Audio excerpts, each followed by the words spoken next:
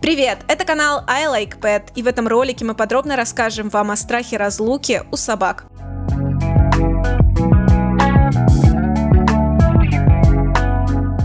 Многим владельцам собак знакома следующая ситуация. Хозяин уходит на работу на весь день или уезжает в командировку, питомец впадает в тоску и депрессию.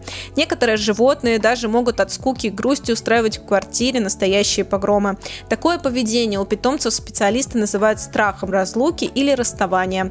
Почему собаки склонны к такому страху и как можно помочь питомцу избавиться от него? Давайте разбираться. Итак, представляем вам ответы на самые популярные вопросы о страхе разлуки у собак.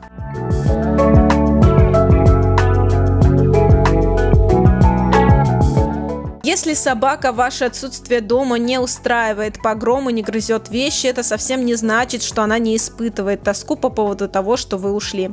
Все собаки разные и по-разному реагируют на события. Некоторые лающие, когда их хозяева уходят из дома, забиваются в угол и трясутся от страха, а когда владельцы возвращаются домой, радуются им чересчур восторженно, бегут к ним, снося все на своем пути.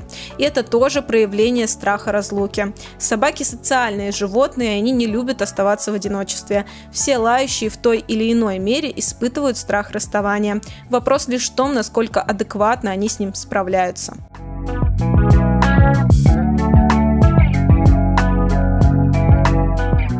К неспособности собаки нормально переносить одиночество приводит три фактора. Плохое качество контакта лающего с хозяином, низкий уровень ментального и эмоционального развития собаки и плохая стрессоустойчивость животного. Таким образом, если владелец не проводит регулярно время со своей собакой, не заботится о ее развитии, скорее всего, лающий друг будет испытывать сильный страх разлуки. Точно так же, как и если стрессоустойчивость собаки внезапно понизится, например, из-за болезни или смены места жительства.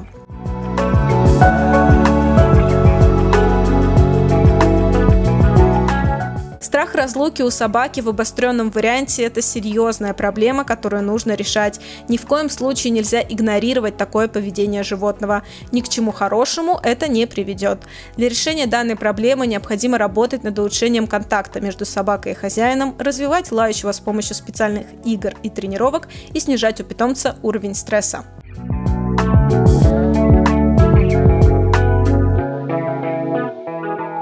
И даже основательно поработав над причинами обостренного страха разлуки у питомца, можно столкнуться с тем, что после того, как собака перестала сильно бояться оставаться одна, через какое-то время она снова стала испытывать этот страх. Как правило, к нему возвращают сильные стрессы, например, переезд, болезнь самого животного или потеря хозяина. Также часто страх разлуки снова появляется у собак в пожилом возрасте.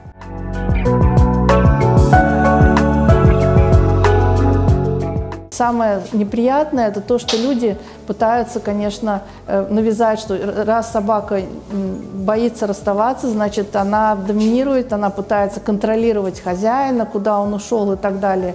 То есть это самое страшное, что может быть, потому что за это ее начинают дрессировать и забивают ее в состояние, когда она, правда, тихо сидит, может быть, дома какое-то время, просто потому что она всего уже боится.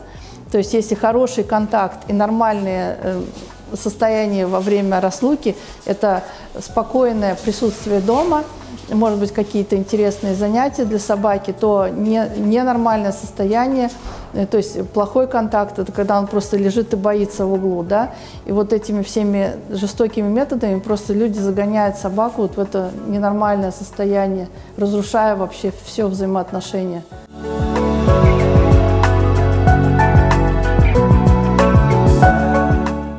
Сильный страх разлуки у животного – это серьезная проблема, и решать ее нужно не жестокими методами дрессировки, а кропотливой работой хозяина с питомцем при помощи зоопсихолога. Ведь сам страх имеет психологическую основу, а не является недостатком воспитания.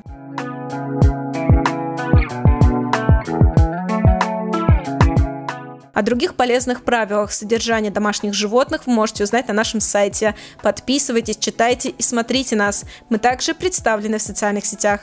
С вами был iLike.pet. До новых видео!